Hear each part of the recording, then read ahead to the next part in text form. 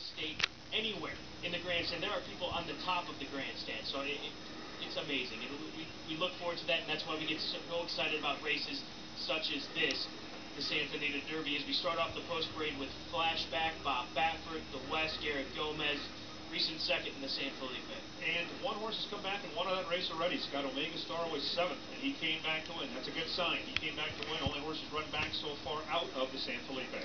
Power Broker, 5 to 1. This is his three year old debut. First start since a fifth place finish in the Breeders' Cup Juvenile, back on Lasix after having to come off it on just that one day. Tiz Minister at 12 to 1, finished third in the San Felipe, and he was closing. Win, lose, or draw, owners Stephen Young and Paul Aguirre made a hell of a play. They paid 40000 for this bull last August. He's banked 282000 There's Goldencents sitting at 5 to 1.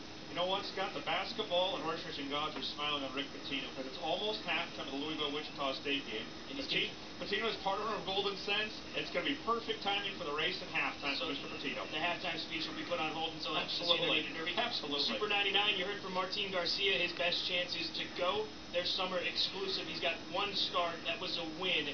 He'll take the blinkers off for his second career start. I don't know if he can win, Scott, but he's going to have an effect on the race because he's a fast horse and he's going to be in the pace for sure, even though the blinkers come off with Edwin Maldonado. There's Hall of Famer Gary Stevens, nine-time winner of the Santa Anita Derby. 12 to 1 is what his mount sits at. He's getting better, but he's going to have to step it way up to compete with these horses, in my opinion.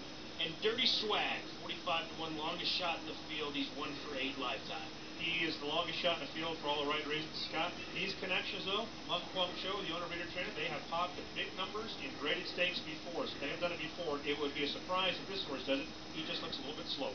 So eight horses will line up. One mile and one eighth will be asked of them in the great.